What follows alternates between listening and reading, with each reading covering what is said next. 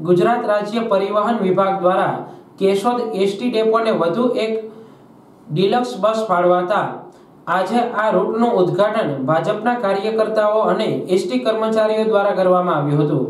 જેમાં આજે સવારે કેશોદ એસટી ડેપોમાં ગુજરાત માર્ગ વાહન વ્યવહાર નિગમ દ્વારા ફાળવાયેલી બસ આવી પહોંચતા તેમનું સ્વાગત બાદ આ બસને કેશોદ રાજકોટ રાજકોટ ઉના અને ઉનાથી ફરી કેશોદ રૂટ પર મૂકવામાં આવી છે.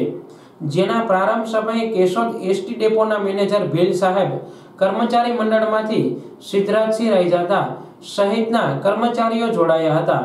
તેમજ ભાજપના કેશોદ તાલુકા સંગઠન પ્રમુખ ગોવિંદભાઈ બારિયા, કેશોદ શહેર ભાજપ પ્રમુખ પ્રવીણભાઈ ભાલારા સાથે અન્ય હોદ્દેદારો જોડાયા હતા.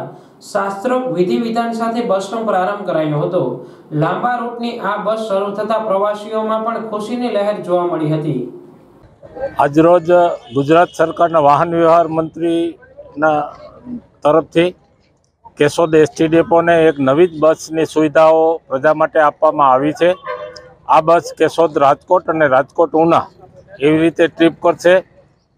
રાજ્ય સરકારનો અને વાહન વ્યવહાર મંત્રીશ્રીનો અભિગમ છે કે લોકોને વધારેમાં વધારે સારી, સ્વચ્છ અને સુંદર સુવિધાઓ કેમ પૂરી પડે એટલે માટે અવારને અવાર એસટી ડેપોમાં નવી નવી બસો આપી અને સરકારને સલામત અને સમૃદ્ધ બસ અને સુવિધાઓ આપવા માટેના પ્રયત્ન સરકાર છે. હું સરકારશ્રીનો ખૂબ ખૂબ અભિનંદન પાઠવું છું.